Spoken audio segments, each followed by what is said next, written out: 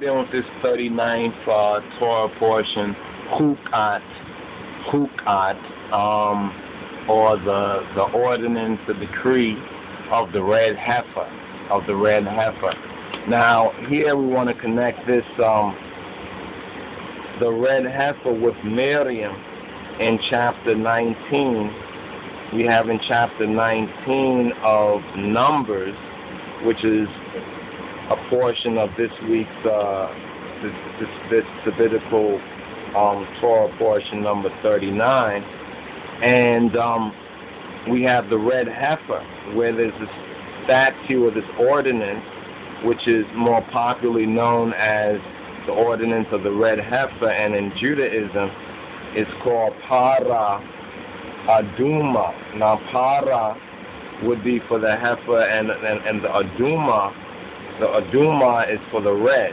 Now, of course, if we go into para and paron, pharaoh, we have pharaoh. Now, in pre-dynastic, in pre-dynastic um, Egypt,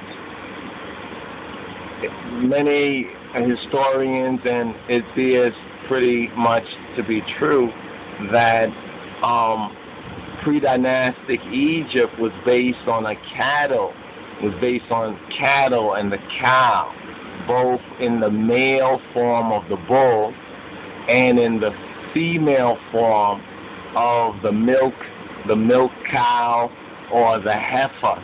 You understand? Or the heifer. And thus we have right here in symbology this particular um, the cow's horn right here, or would say the bull's horn, the cow's horn, and the solar disc. Now, what's the link with Miriam? When we get to chapter 20, when we turn to chapter 20, we find that Miriam, Miriam, and I want to focus on that Hebrew, the difference between Miriam and Mariam. There's a difference between Mariam and Miriam. Now, we find this different difference especially in the Hebrew Torah. Now, why do we find in the Hebrew Torah? Because in the Torah was the recoding or the um, the upgrade from ancient Egypt. Something was going on in ancient Egypt at the time of the Exodus and before the Exodus.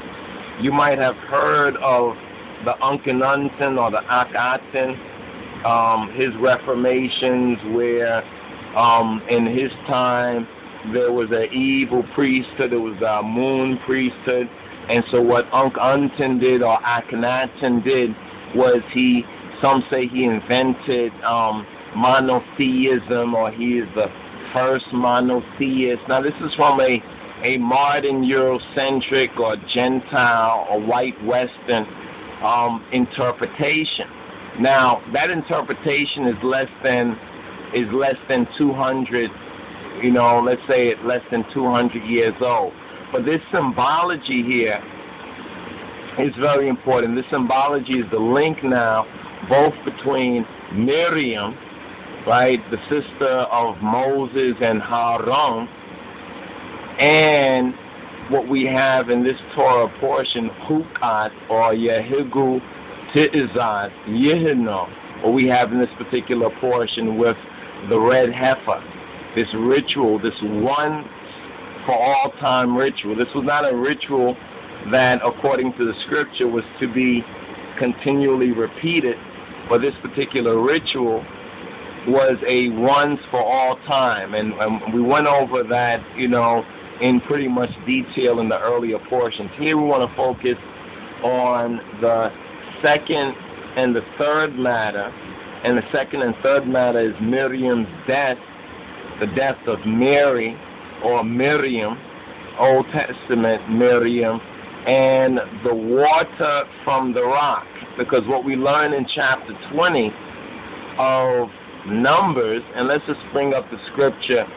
Let's just bring up the scripture right here in chapter 20. So we're using this for a, a symbolic, using Hathor for a symbolic of Miriam. Because Miriam um, was the Hathor of the Israelites, and perhaps even perhaps greater than just of the Israelites, when we really now put it into its proper context.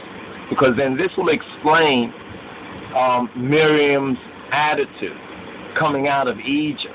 Because in Egypt, both Aaron as well as Miriam, they were of the priesthood, the priesthood of the Hebrei or the Hebrews. Now, Moses, he was a runaway, in a sense, what happened with Moses and him going away. But what Moses gained, he gained an insight into the understanding of the true of the true faith, the Yahweh faith, the Yahweh faith. In other words, the Yahweh faith comes right out of the root of the Nile. In other words, right out of Ethiopia to the first colony, Egypt, where for the pre-dynastic ages, you understand, it existed in that purity, and this is what a lot of the Egyptologists talk about the golden age.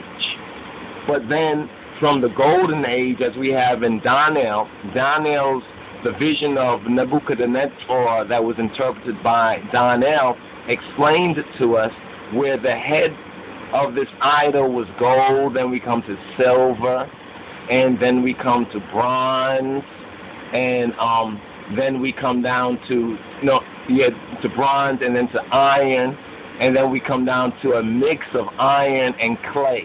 This is the last part when we come to this dark age. And now the rise of white supremacy, biblically, scripturally, was the beginning of humanity's dark age, or let's call it as it is, time of ignorance, the age of ignorance. This is why so much about this, when we look at early European interpretation, so much about this has been distorted, and now there's a frantic effort to upgrade based on the more Afrocentric and the Afro Shemitic true interpretation. But there were a few Europeans who got it. One of them was Gerald Massey, and we have a little clip here from Gerald Massey's A Book of the Beginning, roughly on page 116. And it says right here, it says right here, it says the goddess Mer, and, and, and you can put quotation marks around goddess because, you know, there's this false Western, Gentile, Greco-Roman perspective to goddess. Let's call it a feminine divine attribute like wisdom. Wisdom in the Afro-Shemitic and the African and the Hebraic languages has a gender.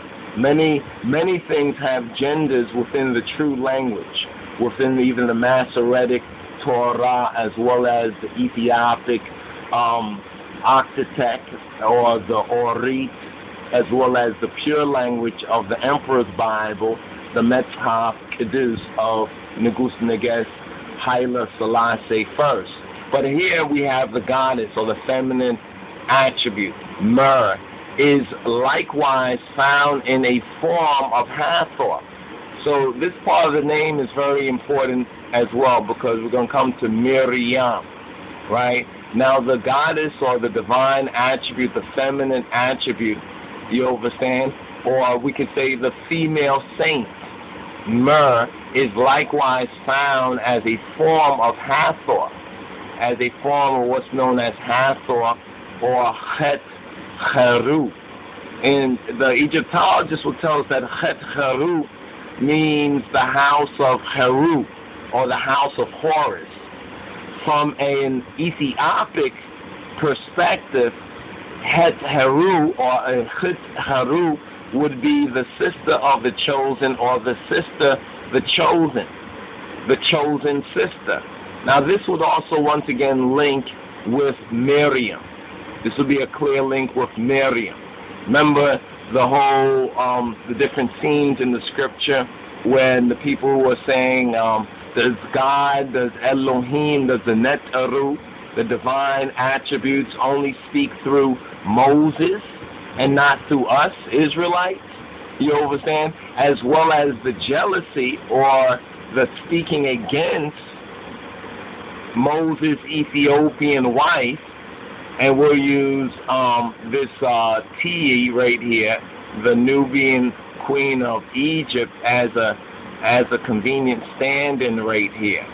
Now, what's interesting is that we know from the scripture that um, uh, Zipporah, Zipporah, which her name means little bird, like a dinbeat, which is kind of curious and interesting as well when we look into ancient Egypt and we look into their their um, spirituality or their religion or their metaphysical interpretation that's symbolic of the bird, even within the Osset culture that the Europeans call a cult.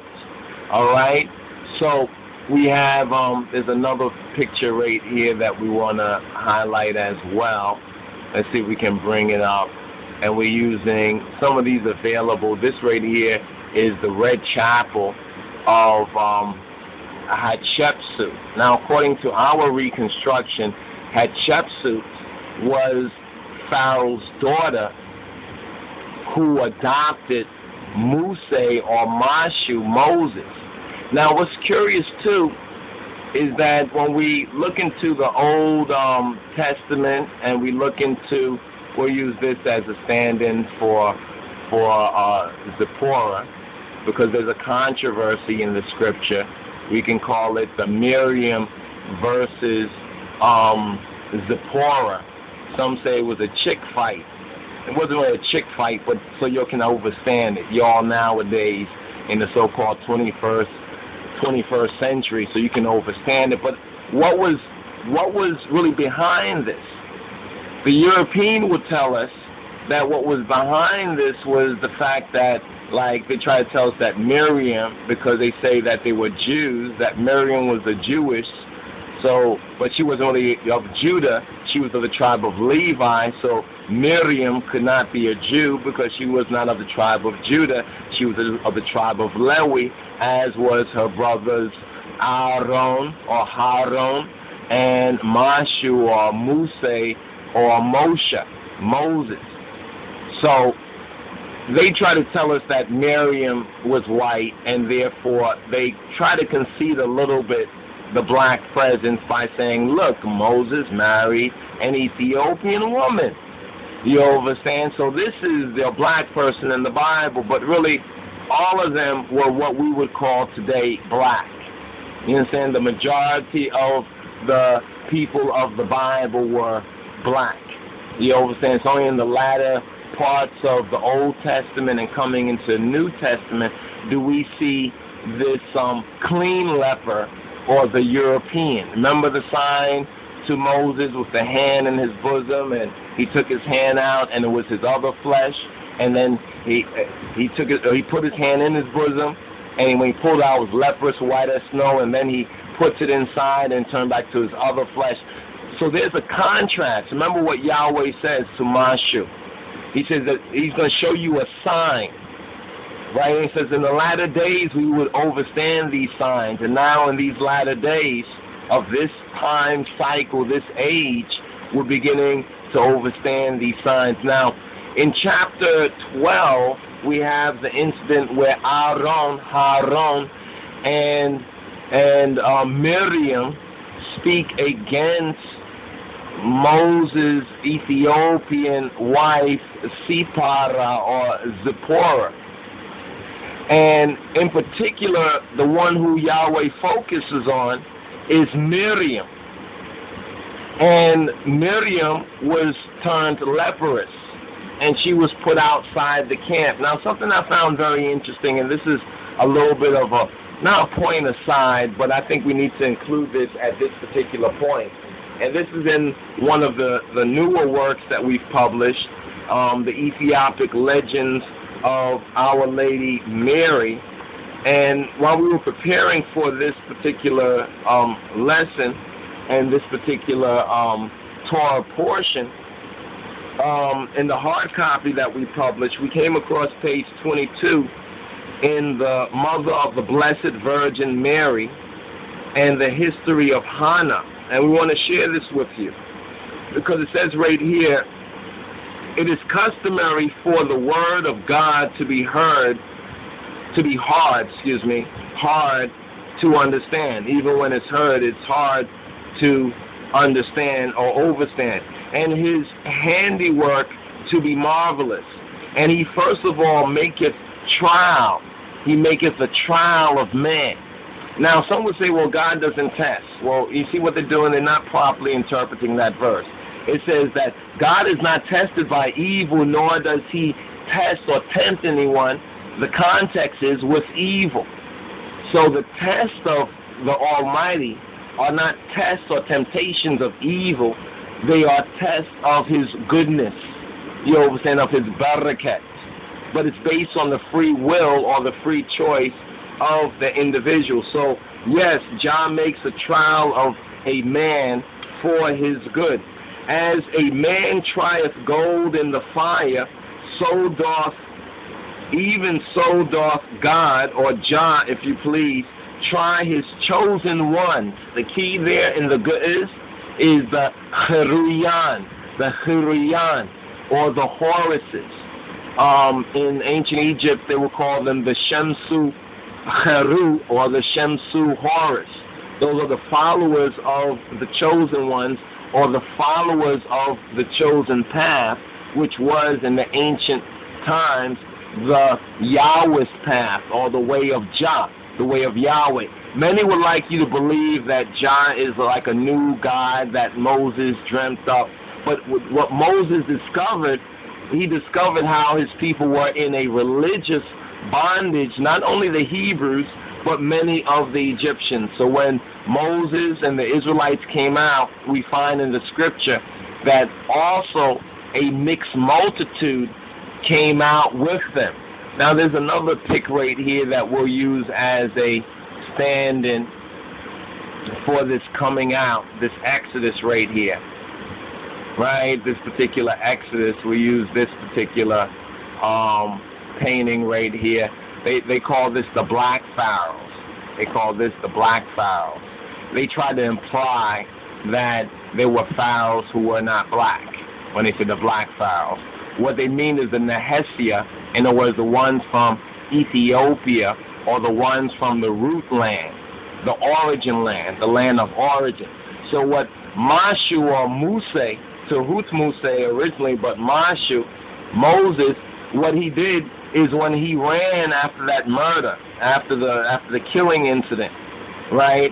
He ran, and some say this will be the time when Hatshepsut, his sister, or his adopted mother, was on the throne, right? But remember, he had a a brother, and that would be to Moses the third.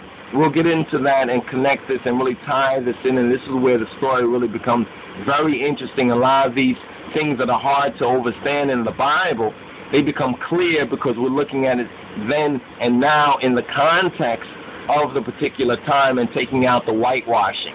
You understand? So Moses, right? Moses went to the south or the Midian land. Even the Talmud of the modern day European Jews bears witness to the fact that Moses went to Ethiopia and even Moses was a general in the Ethiopian armies when the Ethiopian armies went against the Egyptian armies and gained victories. All right, and now there's further evidence in addition to that, but that's very interesting that even they testify to that Ethiopian, that Ethiopic connection. Now some say, well, this perhaps is the link for him meeting um, Jethro or Yotor, as well as um, his Ethiopian wife or wives.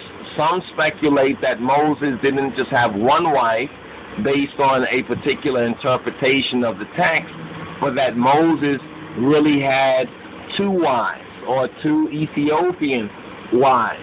Now that's interesting. That's somewhat up for speculation, and that's not our focus at this particular time. But be that as it may, let's keep that placeholder right there. So, moving forward, as a man tries gold in the fire in order to see whether how much gold and how much alloy is there, whether it's pure gold, you understand? Because gold is a noble, make take note of that. Gold is a noble element, not an ignoble element. Gold is a noble element. Even so, and its its scientific acronym is, is AU like African Union, something to think about, or like the owl, the awe in OR set, which means true. Even so, doth God try his chosen ones by suffering and by misery. Now Hannah, Hannah was born in sin. Now we're speaking about Hannah. Now, what's interesting to note about Hannah is that Hannah, the mother of this in Grammarium, her name means grace in the Hebrew. And it's also found in many Hebraic names like Johannes. Johannes. Eo for Yah. Yahweh contracted is Eo. Eo or Johannes. Actually, Eo is a contraction of Yahweh, and Yo is a contraction of Eo. All right? So it says, now Hannah was born in sin, Chatiyat. And in sin, she ate her food, and Ha Elohim trieth her, first of all, so that he might at length remove oppression, remove oppression from all the tribes of Israel. Israel. Now, it's interesting right here. Remove what? Oppression, downpression. He knew the patience of her mind under manifold sorrow and suffering, and he gave to her a beautiful and twofold reward. I want you to highlight that there and to make a note of that, that twofold part. Remember we said that sin is twofold, has twofold aspects. One fold aspect of sin is the guilt. That's the guilt trip. And and it's so important for y'all to understand this. Because a lot of folks accept the truth of the King of Kings, accept Yeshua, but then have this great battle in their heart and mind with this guilt thing, with this guilt trip. Satan, Ha uses that to try to keep you in a frozen psychological state. You saying? Now, sin is twofold. You know what I'm saying? Sin has a twofold aspect. And what we're going to learn about right here, which concerns, which concerns uh, the red, the red cow or the red heifer. Remember, the cow is one which has not, or the heifer rather, is one is a is a cow that has not given birth. Now, why is that important in our story? Because I don't think you'll be able to find any husband of Miriam in the scripture, nor any time it mentioned any child, male or female, that Miriam had. Now, why is that important? Well, why that's important is because let's look at Gerald, what Gerald Massey says right here. Gerald Massey says that the goddess Mer. Now, think about this for a moment. They came out of Egypt, and we know that Moses and his family, they were up there in the establishment. You know, Moses, his sister, his mother. You understand? Um, his mother was was was actually his wet nurse, and according to the interpretation, the sister who's unnamed in the early part of Shemot or the Hebrew book of of of Exodus or Ritzetzaat, she also is in the immediate environment and service of the of the royalty. I saw a picture here. Now this is one of their bogus pictures, so artists out there, you know, ones that have artistic skills and may want to, you know, work on some of these artworks that we need as our teaching tools. Let's see if we can bring this one up here. We saw this particular um, artwork here on on Miriam.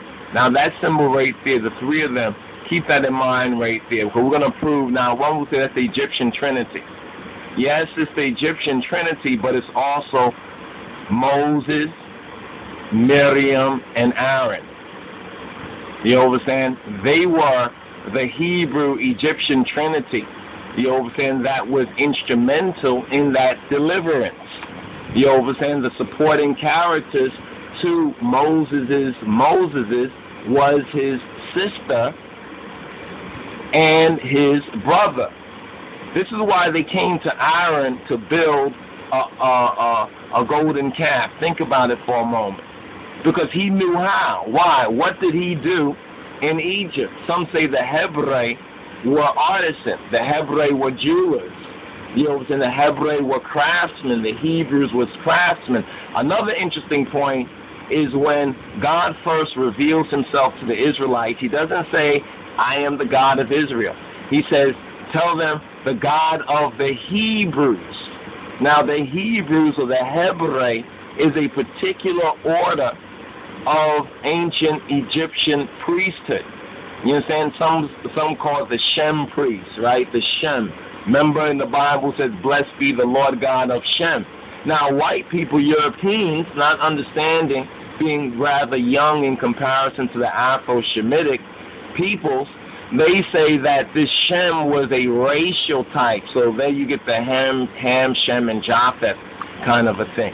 But Shem means name, and Shem as Shum, it means the one that has the appointment. In other words, each of the children of Noah, and Noah relates to the Ankh, right? The Noah, because Anoch means to be Rejajim as a long time or a high mountain. It's called it's called um in the in the good is Noah from that or, or Anoch something that's a long, when we say in 23rd Psalm, um, um, all the days of my life I will dwell in the house of the Lord. That idea of all the days, a long period of time. So we see another link with the, the internal idea of the Ankh symbolizing life, but also symbolizing longevity of days. And that's all within the cycle, the cosmology and the ages. You know, in that link with the ages. Now, when the Israelites came forward, there's a particular age. There's a particular turning point of the age, like this particular turning point of the age that we're in. So here's this picture right here I was telling you about. Miriam, Pharaoh's daughter, sees the baby Moses. This is how the Europeans conceived of it. And we need to um, reconceive of this in the proper type. It, it, you can see what they're doing right here, right? So they're saying that this right here perhaps was um, um, Moses' sister, who they say is Miriam. I put a question mark there because I really think that that sister was perhaps another sister, and the killing of this uh, of this Egyptian, right? Of this Egyptian because of the incident that happens that's very much veiled has something to do with something happening to that sister or another sister. Now, I'm not the first one to really, you know, um, I won't say stumble on this, but to come across on this particular idea. of Velikovsky, when he speaks about the 12th dynasty literature, you might see that out there, Moses and the 12th dynasty literature. It's out there, Google it, check out the pages for yourself. All right?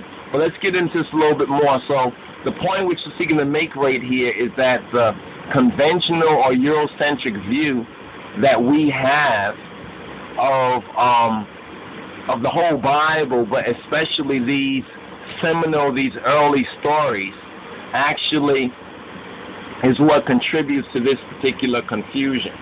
All right, Miriam's role, as well as Aaron's role in ancient Egypt. This is one of the reasons why they seem to have had a little problem with Yahweh or Jah Jah Adonai, always communicating with Mashu and not communicating with them.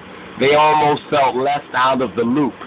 And then, in consequence, they took it out on Moses' Ethiopian wife because they knew that Moses got initiated in the schools of what they call upper, what they call upper Egypt, which is to say Ethiopia, which is to say the roots, which is to say the truth. Yovas, and even in this picture right here, you see what um, you see what this Queen Tiye was standing for us right now for Zipporah. She's holding right here. She's holding right here. She's holding right here. You can see the the flail. You understand, which is also a, a, a symbol of of power, not the shepherd's rod, not the hexus rod of the shepherd, but that rod of, we would say, kingship. You understand? Kingship. And Moses reigned or ruled as king. And we'll show you that even within the, I think Deuteronomy, it says, and, and he, he was a king, he was a king in Jeshurun. Another kind of cryptic name, Jeshurun. We have Jeshurun. Who is Jeshurun? Yeshurun. If you look at the etymology, it links with Osar or Ashar, Osiris, in a very, very um, cryptic and interesting way. But let's continue with the blessed, the blessed um, Virgin Mary, the mother of the blessed Virgin Mary. So we find right here where it says that he knew the patience of her mind under manifold sorrow and suffering, and he gave to her a beautiful and a twofold, and that's the that's the ma'at right there. That's that twofold, the two truths, that twofold reward which no man can take away from her. We have that in our liturgy where it says of this in the you are virgin in what? Mind, and you are virgin in body. Therefore, if you can be virgin in mind, if the mind can renew, then the body can renew as well. The prophets and the Biyat said, through much labor and suffering, you must enter into the kingdom of heaven. Through much labor and suffering, we must enter into the kingdom of heaven. Acts chapter 14 and 22. And this prophecy, this tinbit, was fulfilled in Hannah. For she endured patiently all her burden and all the heat, all the heat of the day. And because of this, she inherited the kingdom of heaven. Now, here's a particular point that I wanted to link about Miriam that the Holy Spirit showed me before we got into this 39th Torah portion. Hukat, Yehigu Tizaz. It says right here, now the kingdom of heaven, the Mengista Samayat, of which I speak, is the son of Hannah's daughter, Mary. That is to say, our Lord and Redeemer, Jesus Christos, Yeshua HaMoshiach, Jesus Christ, our black Lord and Savior. For many have desired to receive to Kabbalah, to Kabbalah, to Makabel, the majesty and the honor, the majesty and the honor of Hannah by calling their daughters Mary. So many have, have sought to kind of tap into that. Now, this is what's very interesting about this because this also connects when we look into ancient Egypt and to the ancient Egyptian religion. In other words, one's naming oneself, like even Hatshepsut, I think, um, what the daughter of the daughter or the wife, I think, of Amun, to to be a consort in that sense for the god, or the next best thing to be the mother, you understand, of that child. You see, so when we talk about the golden calf, that was the golden child. Now, when we're speaking about the red heifer, we're speaking about that cow, female cow that has not given birth to any calf. Now, this is a connection with Miriam because the red heifer occurs in the 19th chapter of Numbers, and then in the 20th chapter, verse 1, we all of a sudden hear about Miriam's death that that Mary dies. And in verse 2, we find out there is no water. Very interesting now, this connection with water, because in chapter 19 we learn of the water of lustration, the water of separation, which cleanses from sin, which cleanses from sin, which is a type of Christ as that ground, as that Aduma or the Adama the Adam was drawn from the Adama according to the Hebrew mystery. So now we have the Para Aduma or the red heifer. Now it says that many have desired to receive the majesty and honor, and that's also Kabbalistic if you look at the tree. Majesty and honor is on the tree of Hannah, and Hannah means grace, by calling their daughters Mary by a type of a sympathetic magic, even as Yaakoved or Jacobed or Yaakobad, Yaakovod, Yaakovod in the Hebrew mean the glory of Jah, and in the Ethiopic it would mean that Jah is kabad, he is serious, he's heavy. You understand? Calling her first daughter by that name. And he, when we say he now, we're speaking of the law. we're speaking of the living Torah. And we'll bring this particular art, I don't know if you've seen this art before, but this particular art more front and center. And why we're bringing this particular art front and center is because of what we're reading right here, right? And now we we're gonna parallel we're gonna parallel in a sense um, Miriam in her Hathor with Mariam, you understand? Where it says right here that that um Jochebed, the mother of of of Mary and Aaron and and and and um, Moses, calling her first daughter by that name, and he he is Yeshua, he is Torah, Torah, he is Torah, calling her Miriam. So Jochebed called her daughter Miriam, or according to Massey right here, we have the goddess Mer. The goddess Mer is likewise found in a form of Hathor, bearing the solar disk on her, quote, her fear neck. Now, Yahweh, John, through the prophets, he uses this same type to describe um, Ephraim, Afarim, Ephraim, right? Her fear neck. And he speaks about how Ephraim went back to Egypt and connect. There's a whole big connection in Hosea and throughout the scriptures with Egypt, because in Isaiah he says, Egypt is my people. So she's bearing now the solar disk on her fear neck, that is to say, between the cow's horns.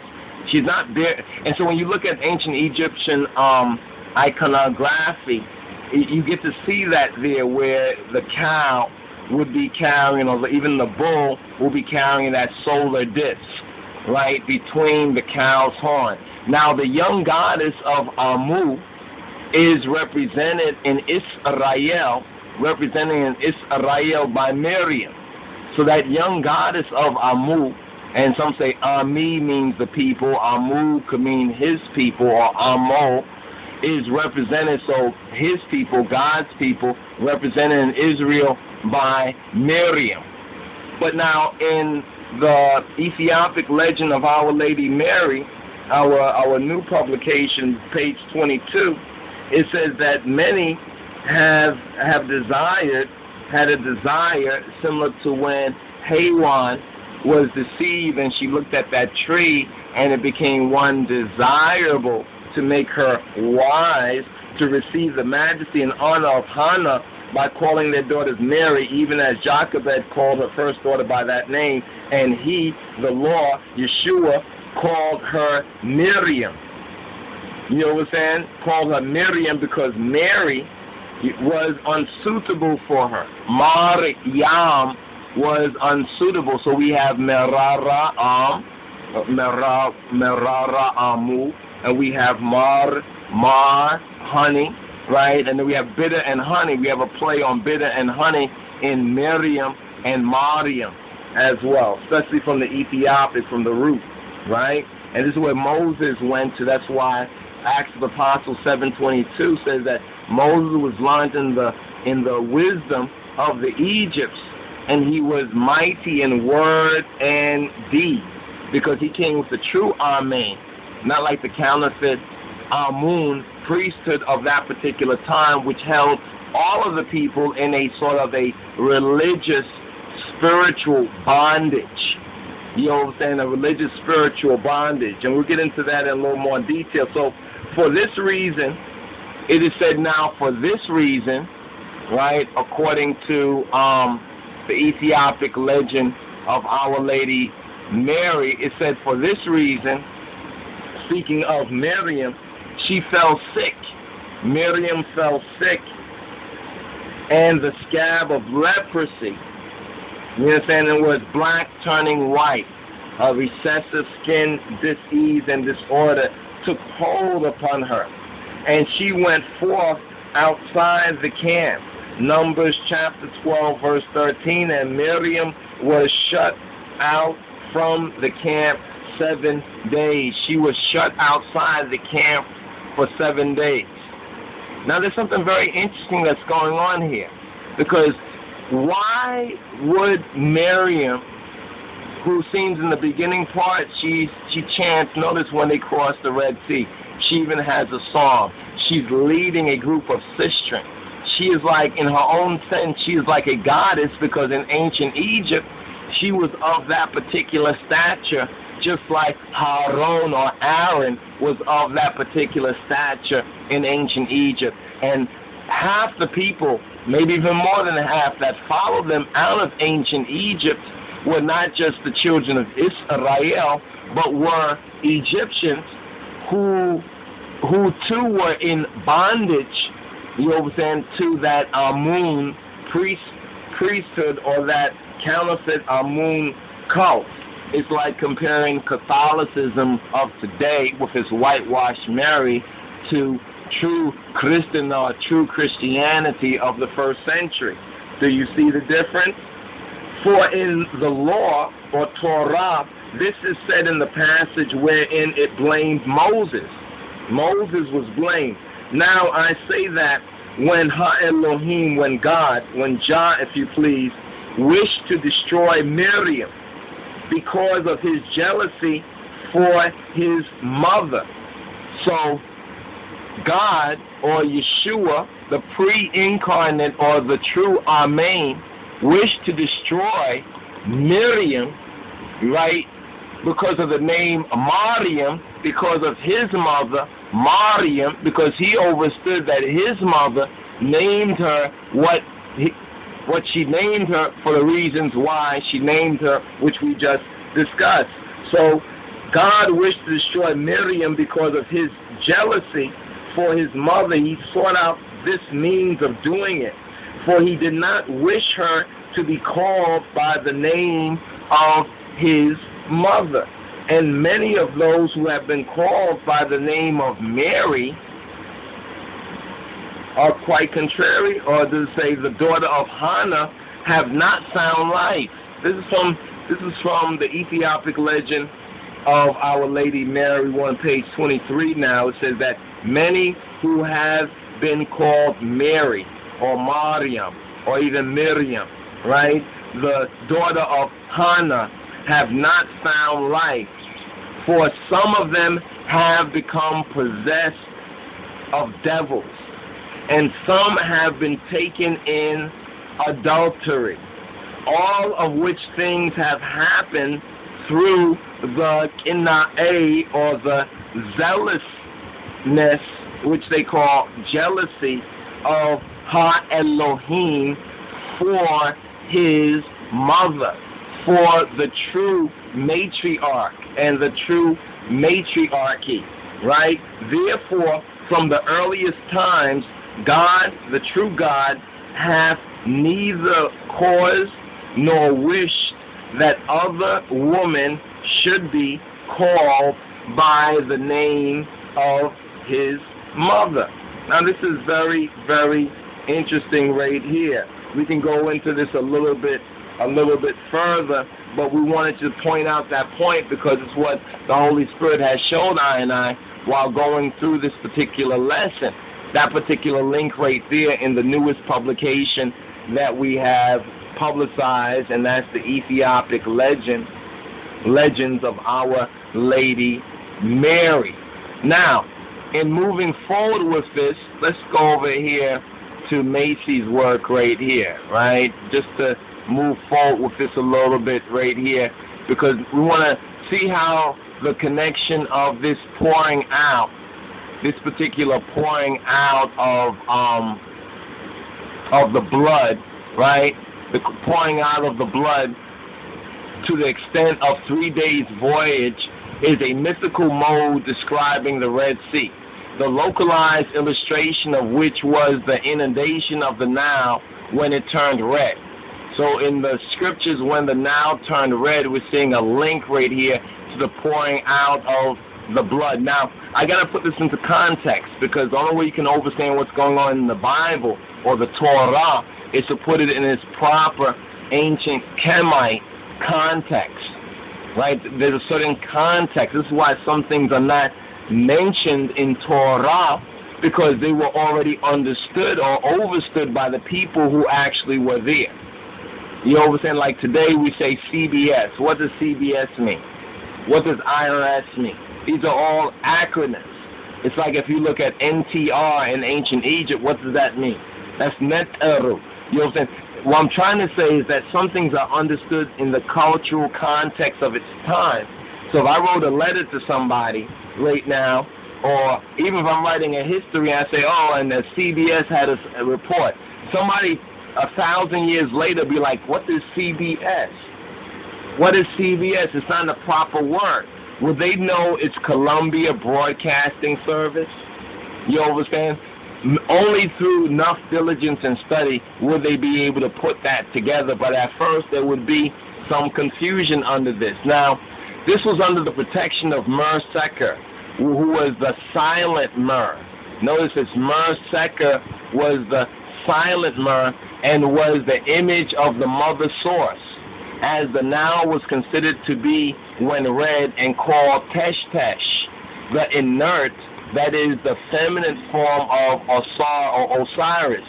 Now, the rejoicing of Hathor, which we find in the scripture to be the rejoicing of Miriam upon the crossing of the Red Sea, is connected with the rejoicing of Ahit Haru in the Egyptian, for lack of a better word, mythology over the bloodshed is paralleled by the song and dance of Miriam over the destruction in the Red Sea, the bitter waters of Marah, which were sweetened by the tree cast into them. So we have another link right here in the Hebraic. That other important link that we have right there in the Hebraic, it just stands out. Marah, the bitter water, and then we have also the Meribah, where they tried Yahweh at these bitter waters that is called the Meribah. The Meribah. Now, how does this how does this all how does this, how does this all connect? Now we're kind of far up in this right here. We could have actually gone back a couple of pages in um, a book of the beginnings, and perhaps we should go back a couple of pages in the book of the beginnings so that we can put this into proper into its proper context. But um, what we have right here is um, is the rejoicing of Hathor over the over the bloodshed. That's par- that's a parallel in the Egyptian to what we have in the Hebrew Bible, the song and the dance of Miriam over the destruction of the so-called Egyptians in the Red Sea, the bitter waters of Marah, which were sweetened by the tree that was cast into them. It equates with the juice of the fruit that was poured into the blood of the Egyptian myth. A covenant and a statute are made on the spot in the Egyptian mythology by Re, by Re, whom whom in um in modern Egyptology they call him Ra, but more correctly Re, who orders that libation is to be made to the young goddess of Amu at every festival of the new year at the time of the overflow of the Nile in ancient Egypt. Now, in like manner, we find this to be very interesting because in like manner, we have the Lord of Israel, the Adonai of Israel, makes for them a quote statute and an ordinance, and there he proved them. And the note is Numbers chapter 33 and 9. Now, the tree of healing is the tree of life. It's the male source that's applied by Isaiah in Isaiah 56 and 3, where it says, Neither let the eunuch say, I am a dry tree. Don't let the eunuch say, I am a dry tree. In the elder version, this is represented as the fruit of the tree whose juice was mingled, was mixed with blood, was mixed with blood. Now, we've gone a little bit forward in this portion right here, because we could have actually gone um, back a few pages to really link the first part on page 112. And on page 112, it really gives us a very, very interesting connection that when we study the ancient Egypt, right, and it kind of scrolls from from the golden calf incident. In other words, this incident with the red heifer and the golden calf incident is very much connected. Now, in the Egyptian myth, there is the destruction that goes forth in the shape of the Hathor.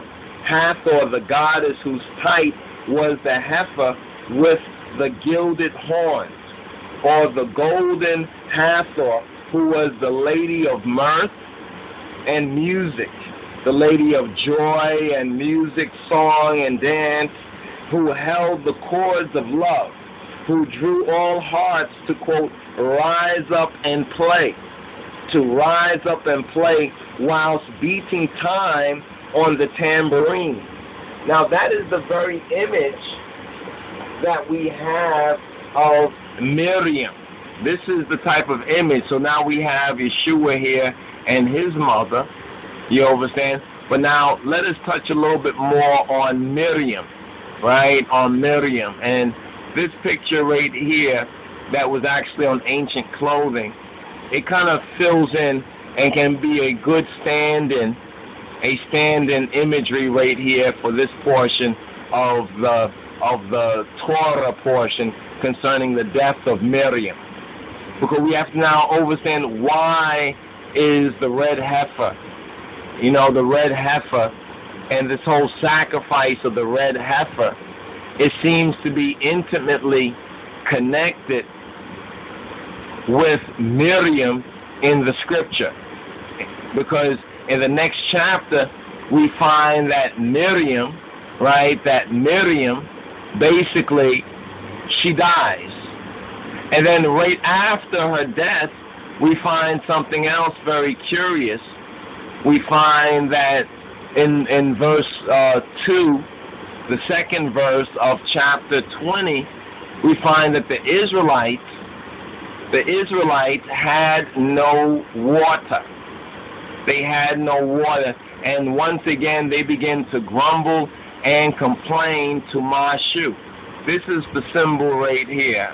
We should have brought this up from the very beginning part, but as we're going through this, we're learning better to teach this and show some of the significance, because some of this is actually what I and I is, you know, what I and I is learning and discovering as we're going through these Torah portion studies.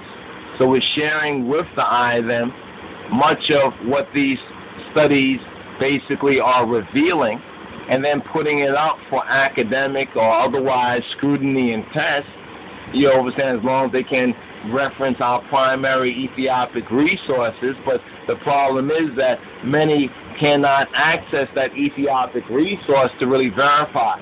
But those who are able to can verify it when we say Horus as Cheru. Cheru means chosen. Cheruyan means the chosen ones, or that is to say the elect ones. Right? When God says or the Hebrew God speaks of his chosen ones, he is speaking of his elect ones, right? Who are these elect ones? These elect ones, chiefly and chiefly, are these three here that we have from the Egyptian Trinity, and that I think we're going to touch on as we as we go forward in the next part of this. How Moses, Miriam, and Aaron matches, you know matches this Egyptian trinity.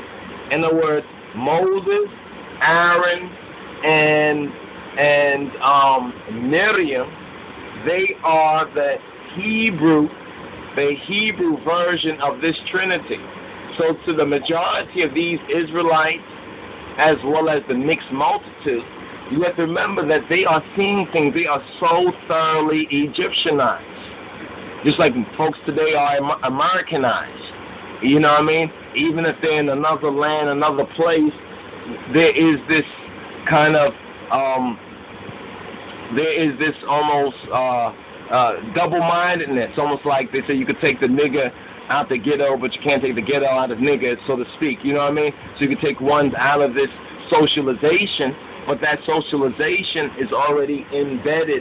It's like it's inborn in them, and this is what we find with these Israelites, because at every single turn, at every single opportunity, it's like they're trying to find some excuse. They're trying to find some excuse to go back to Egypt, one way or another. And, and we don't have to go through all the various different examples, but the examples are there when they're saying, oh, we should have died in Egypt. Oh, were that was such and such in Egypt. Everything, everything Egypt. We had garlic and food and leeks and onions and all this kind of food in Egypt. We don't like this kind of food that that the angel food. Oh, if we had only died in Egypt. You know, so they they're very much caught up on Egypt. They can't escape Egypt. So how are we not to assume that the way they are looking at what's going on in these in, in, in the Torah, especially in, in, in, in the um this portion here, Exodus, Leviticus, and Numbers, is not being seen and interpreted by them through an Egyptian mindset. Let's remember that the Egyptian uh, culture, probably the only thing that compares with the Egyptian culture as it was then is the so-called American or Western culture today. That that in other words, so many people from all over the world have been hypnotized and actually live in the image. So they were living in the image, and one can say the shadow of Egypt. And and just to prove this to you before we go forward with this, who's doing a little study here? Let's bring up let's bring up um this uh, Bible study program right here, right? And in this Bible study program, I think we looked up Miriam, and then we go to Micah. When you go to Micah, I think it's 6 and 4. Let's go to Micah 6 and 4, right? Micah. Micah 6 and 4. Now, Micah 6 and 4, what does it say? In Micah 6 and 4, it says, For I brought thee up out of the land of Egypt and redeemed thee out of the house of servants. And I sent before thee Moses, Aaron, and Miriam. I sent Moses, Aaron, and Miriam to lead you. Now, this is interesting how the prophets, the prophets are going to clarify a whole lot, including the fact that it wasn't the so-called native Egyptian that persecuted the Beta Israel or Israel or the Hebre, the Hebrews, but it was actually the Assyrian. It was the Assyrian or the Osirian, the Osirian that persecuted, you understand, that persecuted the Israelites whom God calls my people. And just to bring that up, let's bring that up, those Assyrian, the Assyrian, um, the Assyrian, let's just bring this up right here. The Assyrian, it's going to be in Isaiah. Isaiah, it says, and the Assyrian persecuted, the Assyrian persecuted. And so when we find people talking about, oh, it's the Egyptians that did it, oh, such and such and such, what do they mean by Egyptians? Like, what do you mean by American today? It's the very same thing. What do you mean? You mean American from England American? Or you mean somebody that just came over the other day and became American? Or somebody in a foreign country who wear jeans and eat McDonald's and feels that they're American? What kind of American are you talking about? For thus saith Adonai Yahweh, my people. So Adonijah, Adonai Yahweh says, my people went down aforetime into Egypt to sojourn there, to dwell there. And the what? The Assyrian, the Osirian, the Assyrian oppressed or downpressed them without cause. For this is what the sovereign Lord says. In the beginning, my people went to live temporarily in Egypt. Assyria, instead of more correctly, it should be the Assyrian, oppressed them for no good reason. So when we keep reading about, you know, we keep hearing, well, the Egyptians were persecuting Egypt, let my people go. Remember, there was a king that knew not Joseph, Eoseph. But all native Egyptians knew Joseph. But there rose a king who did not. Who was this king that arose? This is part of that mystery right there concerning this um, oppression. So clearly, the scriptures, the Lord is clarifying this right here. He says that his people went down into Egypt to sojourn there, and it was the Assyrian, or overstood, it was the Osirian that oppress them without any cause. That's what we're hearing about with the river and throwing the youths in the water, all the male youths, so forth and so on. There's a bigger picture that we need to see in this. So now we have this trinity here Moses, Aaron, and Miriam. Moses, now we have Yahweh saying to the prophet Micah that he sent, he is the one that sent these three. So to those who were Egyptified, you know what I'm saying? To see these these three right here. You know what I'm saying? We have your Hathor type, we have your Osiris type right here, which would be the Moses type. You know what I'm saying? The Moses type and the true Osar and the true Amen. And then right here, who do we have with that side lock? We have that side lock, Aaron. Remember what Yahweh says? You will be a God to Pharaoh.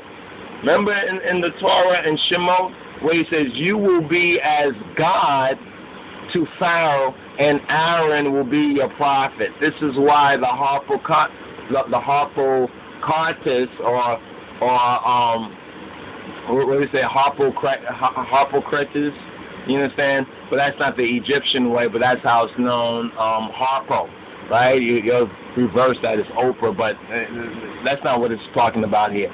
The role the sidelock right here is that Horus or that chosen one. Because what did Aaron become? Aaron became the high priest. You know what I'm saying? He became the high priest, the only one who can go in to the Holy of Holies.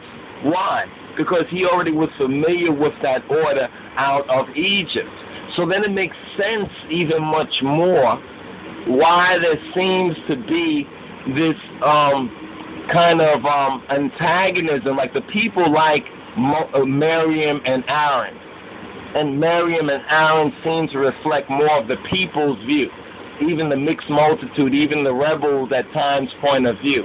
Why is this so? Because you have to remember that Moses he went to the root, he went to the deeper truth, and he was able now to overstand that. And this is why we have in the Hebrew Bible something that Massey had had had said that was kind of interesting that I want to just put into the um, put into the notes right here. I don't know if I had highlighted it, but he was saying that you know we should really thank we should really thank the um, the Hebrews because what the Hebrew Bible or the Hebrew Scripture actually helps us to do is to really understand a kind of a ancient, ancient, in a sense, I hate to use this word because people misunderstand this evolution, but more like a cultural evolution or the evolution of mythological ideas. You understand? Almost like anthropology in another sense but also sociology. You saying? Cultural sociology can also be very, very much, um, very much uh, understood. I don't know if I if, if I'm able to get that part right now, but I, I found that, and it was kind of very interesting when we start to look at some of the the symbolism. For those who have this particular book, you know how Massey Massey writes you know what I'm saying? You really have to study, you know, his work. It's just like a volume of of information. You have to pick it pick it apart and put it together for whatever you're particularly focused on. Like we're focused right now on Miriam, right, in the scripture. So when we go to this searchable PDF right here, and we hit search right here for the next um, Merriam, um, the next Miriam um, um, um, point right here. Find it there. It's there. Let's see how many pages we go ahead.